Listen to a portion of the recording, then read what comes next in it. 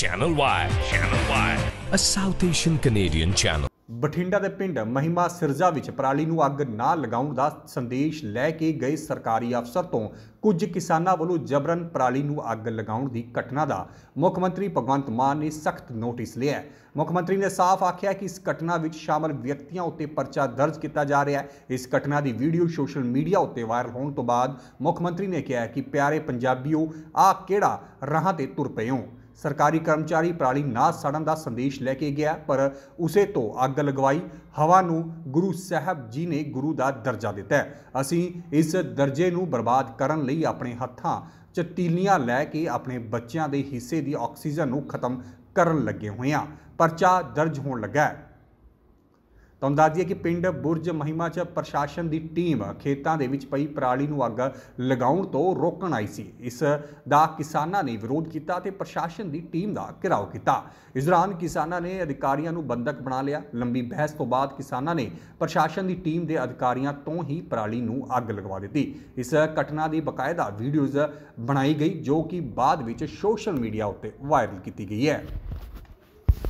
ਇਹ ਮੇਰੇ ਪਿੰਡ ਦਾ ਮੈਂ ਮੈਂ ਆ ਸੀ ਮੈਂ ਟੀਵੀ ਤੇ ਚੱਲੀ ਜਾਣਾ ਜੇ ਭੱਜੇ ਸਾਰੇ ਉਹਨਾਂ ਦੇ ਮੁਲਾਜ਼ਮਾਂ ਨੂੰ ਭਾ ਕੇ। ਗੱਲ ਕਰਨੀ ਹੈ ਤਾਂ ਮੋਬਾਈਲ ਪਾਓ ਜੇਬਾਂ 'ਚ ਮੈਨੂੰ ਆ ਡੱਬੀ ਹੈਗੀ ਤੇਰੇ ਕੋਲ? 200 ਬੰਦਾ ਤੁਹਾਡੀ ਖਾਤਰ ਖੜਾ ਉਹ ਡੱਬੀ ਦਾ ਮੰਗਾ ਲਓ। ਉਹ ਡੱਬੀ ਦਾ ਭਰਾ ਹੈ ਡੱਬੀ ਦਾ ਯਾਰ।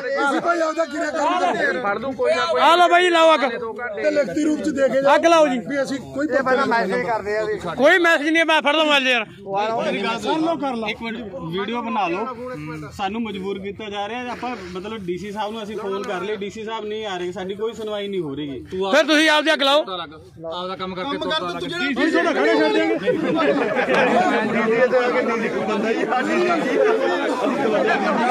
ਦੇਖੀ ਮਾੜਾ ਹੋਈ ਸਾਈਡ ਤੇ ਕਿ ਬਣਾਉਣਾ ਬਣਾ ਬਣਾ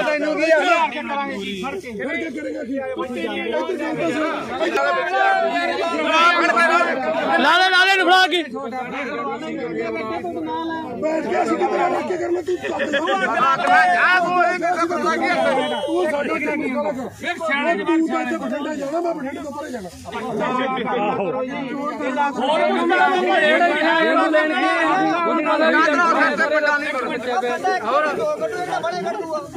ਅੱਗ ਬੁਝਾਉਣ ਵਾਲੇ ਆਏ ਸੀ ਅੱਗ ਇਹਨਾਂ ਤੋਂ ਲਵਾਈ ਹੈ? ਅੱਗ ਬੁਝਾਉਣ ਵਾਲੇ ਆਏ ਸੀ ਅੱਗ ਲਵਾਈ ਇਹਨਾਂ ਤੋਂ। ਖੜ ਜਾ ਖੜ ਜਾ ਮਿੰਦਰਾ। ਅਸੀਂ ਆਪ ਖੁਦ ਕੋਲੇ ਖੜ ਕੇ ਅੱਗ ਲਾ ਕੇ ਆਏ ਆ ਦੇਖੋ। ਇਹ ਅੱਗ ਬੁਝਾਉਣ ਆਏ ਸੀ ਬਾਈ ਖੁਦ ਅੱਗ ਲਾਈ ਇਹਨਾਂ ਨੇ ਕਿਸਾਨਾਂ ਅੱਗੇ ਪ੍ਰਸ਼ਾਸਨ ਕੋ ਗਿਆ ਜਮਾ ਅੱਗ ਬਾਗ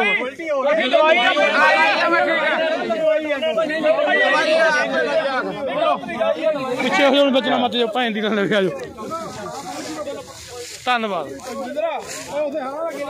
Channel Y. Channel Y.